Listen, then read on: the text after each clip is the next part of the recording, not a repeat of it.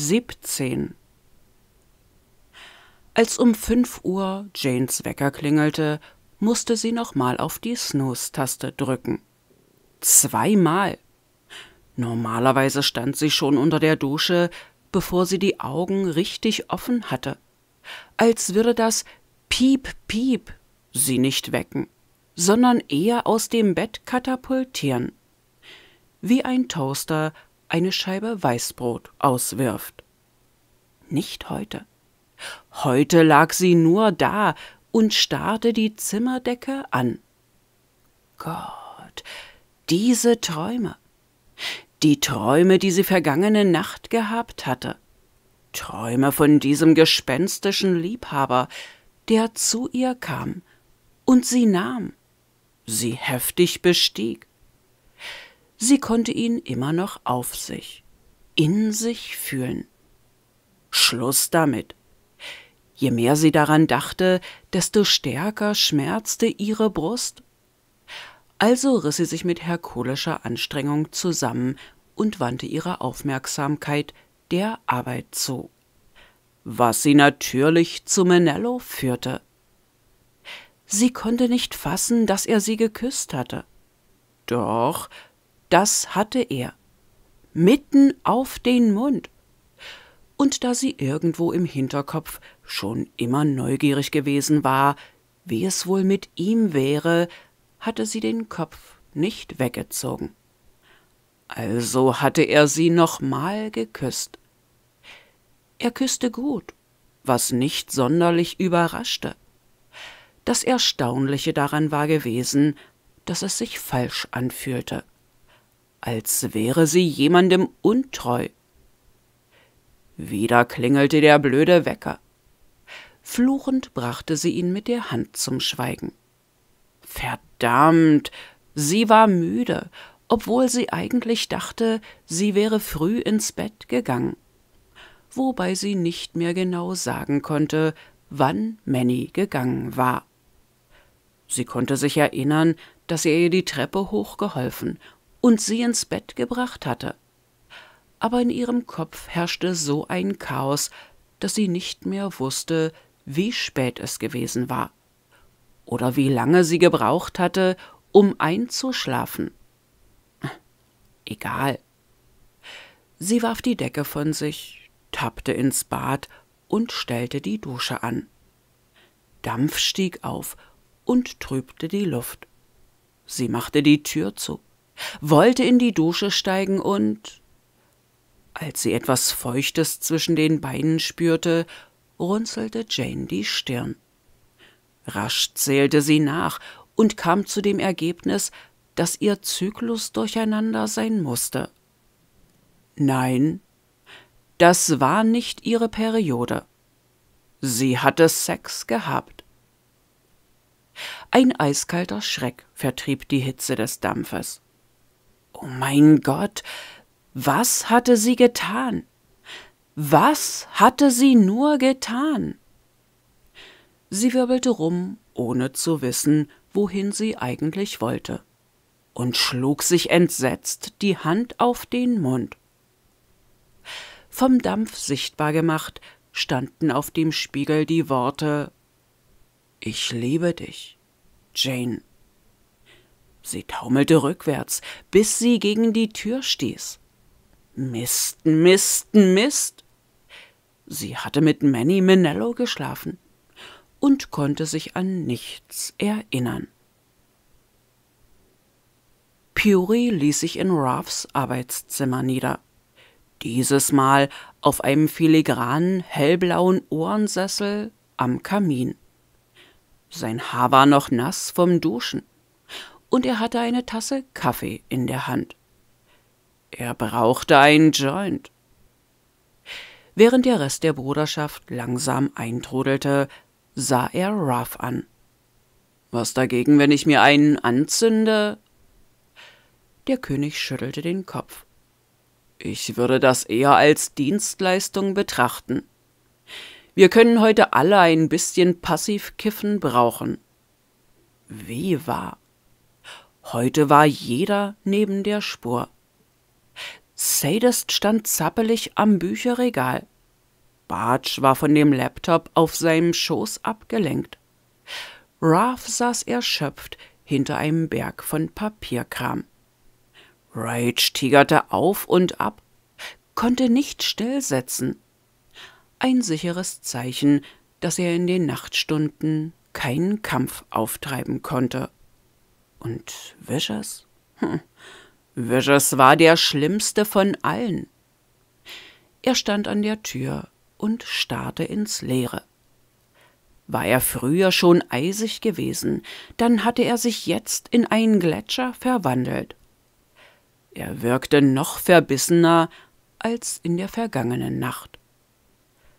Als Puri sich einen Joint anzündete, dachte er an Jane und Vicious und überlegte, wie der Sex zwischen den beiden wohl gewesen war.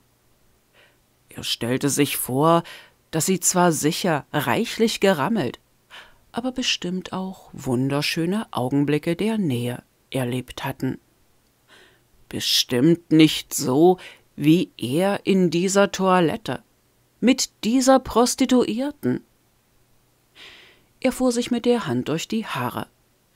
War man eigentlich immer noch Jungfrau, wenn man zwar in einer Frau gesteckt hatte, aber nicht zu Ende gekommen war? Er war sich nicht ganz sicher. Trotzdem würde er niemanden danach fragen. Es war einfach nur widerlich.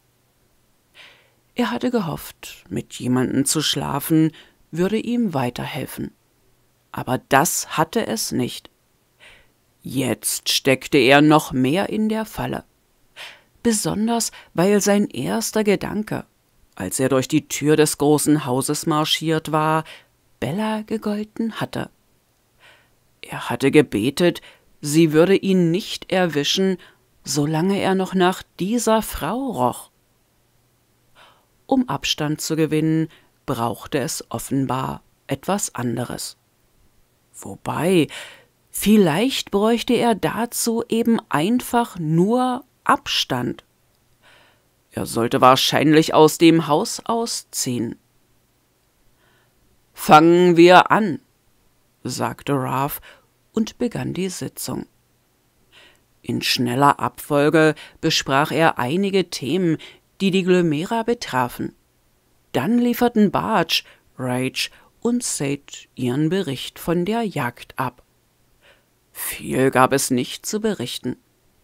Die Lesser verhielten sich in letzter Zeit relativ still. Vermutlich weil der Hauptlässer vor zwei Wochen von Bartsch getötet worden war. Hm, das war typisch. Jede Verschiebung in der Führungsriege der Gesellschaft hatte eine Auszeit im Krieg zur Folge, obwohl der Waffenstillstand nie lange dauerte. Als Puri sich einen zweiten Joint anzündete, räusperte sich Ruff. Und jetzt zu dieser Primalszeremonie. Puri nahm einen tiefen Zug, als Wischers Diamantblick sich hob. Krass. Der Mann wirkte, als wäre er in der letzten Woche um 150 Jahre gealtert. Die Haut war fahl, die Augenbrauen tief nach unten gezogen, die Lippen verkniffen. Er war noch nie ein Spaßvogel gewesen. Aber jetzt sah er regelrecht verhärmt aus. Was ist damit? fragte Fischers. Ich bin dabei. Ruff blickte zur Seite. Puri, du auch. Wir gehen heute um Mitternacht. Okay? Puri nickte. Dann wappnete er sich innerlich, weil es aussah, als wollte Vicious etwas sagen. Der Körper des Bruders verspannte sich. Die Augen flitzten hin und her. Der Kiefer malte. Doch es kam nichts aus seinem Mund.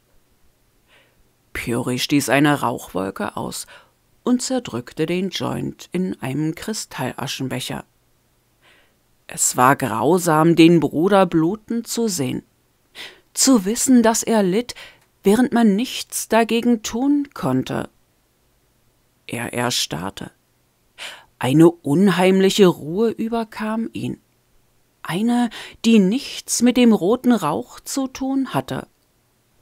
Himmel, Herrgott, nochmal! Ralph rieb sich die Augen. Raus hier!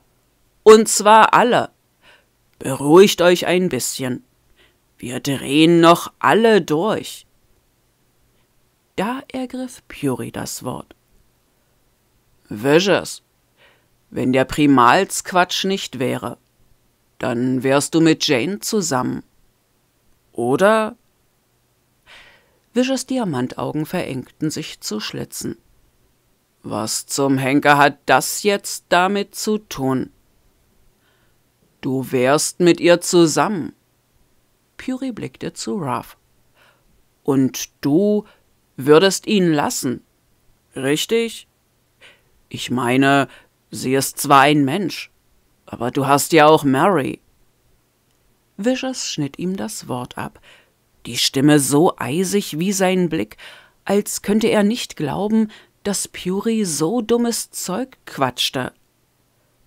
Es kann niemals funktionieren, also lass das Thema besser stecken. Doch, das könnte es. Jetzt flackerten Wisches Augen brutal weiß auf. Nimm's mir nicht übel, aber meine Nerven stehen kurz vorm Zerreißen. Mich jetzt in Ruhe zu lassen, wäre eine ausgezeichnete Idee. Unmerklich schob sich Rage näher an Vicious ran, während Sade sich neben Puri aufbaute. Ralph stand auf. Wie wär's, wenn wir die Sache ruhen lassen? Nein, ihr sollt mich anhören. Puri erhob sich ebenfalls aus seinem Sessel. Die Jungfrau der Schrift will einen Angehörigen der Bruderschaft. Richtig? Für den Zweck der Fortpflanzung. Auch richtig. Oder warum musst du das sein? Wer sollte es denn sonst sein? Zum Teufel!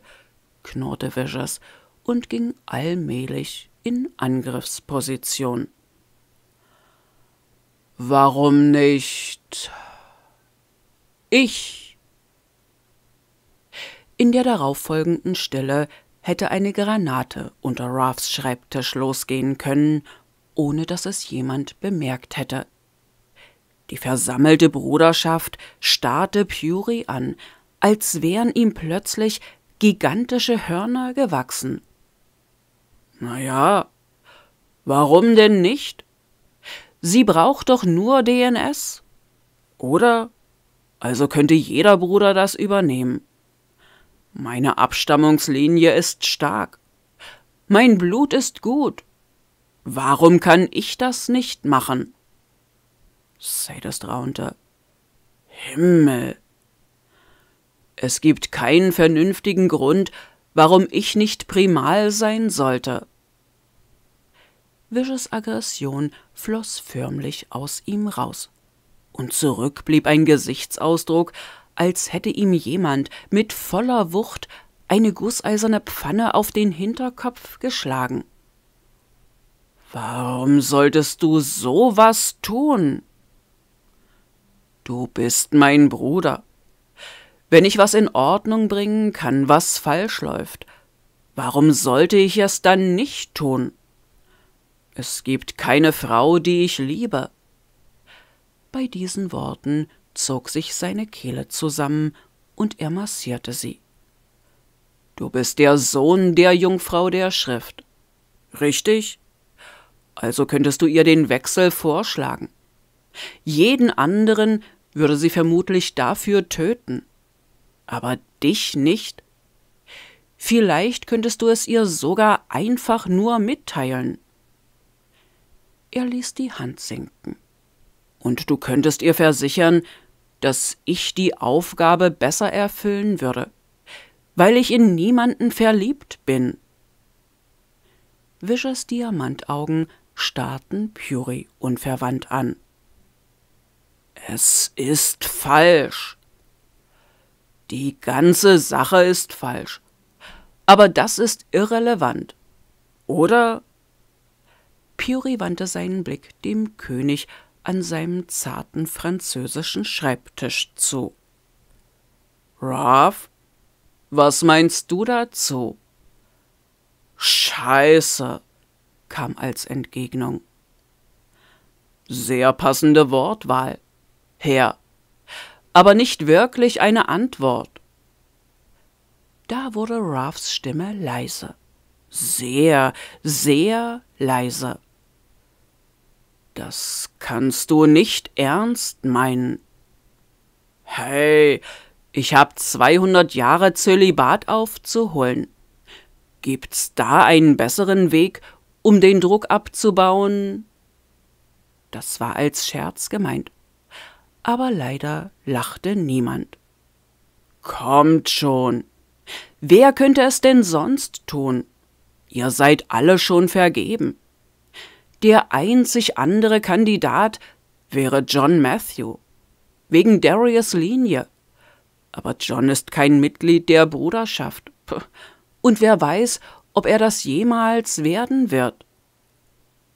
Nein! Sadist schüttelte den Kopf. Nein, das würde dich umbringen. Hm, vielleicht, wenn ich zu Tode gevögelt werde. Aber abgesehen davon käme ich schon klar. Du wirst nie ein eigenes Leben haben, wenn du das machst. Natürlich werde ich das. Puri wusste genau, worauf Seth hinaus wollte. Deshalb wandte er seine Aufmerksamkeit absichtlich wieder Raft zu. Du wirst Vishas doch erlauben, Jane zu sich zu holen. Oder? Wenn ich das tue, lässt du die beiden zusammen sein. Das war selbstverständlich nicht so geschickt, denn dem König erteilte man keine Befehle. Das verboten Gewohnheit und Gesetz. Und außerdem das Wissen, dass er einen sonst höchst persönlich quer durch den Staat New York treten würde. Doch im Augenblick kümmerte sich Puri herzlich wenig um die Etikette. Ralph schob die Hand unter die Sonnenbrille und rieb sich mal wieder die Augen. Dann stieß er hörbar den Atem aus. Wenn irgendjemand die Sicherheitsrisiken, die eine Beziehung mit einem Menschen birgt, in den Griff kriegen könnte, dann Vicious. Also, ja, verdammt, ich würde es erlauben. Dann lässt du mich für ihn einspringen und er geht zur Jungfrau der Schrift? Die Standuhr in der Ecke legte los. Das gleichmäßige Schlagen war wie ein Herzschlag. Als sie wieder verstummte, sahen alle Ruff an. Nach einer Weile sagte der König So sei es. Sadist fluchte. Bartsch pfiff durch die Zähne. Rage steckte sich ein Lolly in den Mund. Also gut, dann, sagte Puri. Verfluchter Mist. Was habe ich da gerade getan? Offenbar dachten alle anderen dasselbe, denn niemand rührte sich oder sagte ein Wort. Vicious war es, der schließlich den Bann brach. Wie eine Dampfwalze raste er quer durch den Raum. Pyre wusste kaum, wie ihm geschah. In einem Moment wollte er sich gerade einen neuen Joint anzünden, im nächsten kam Vicious angestapft, warf ihm zwei massige Arme um den Oberkörper und quetschte ihm die Luft aus dem Leib. Danke, sagte Vicious heiser. Danke. Selbst wenn sie dich nicht lässt, ich danke dir, mein Bruder.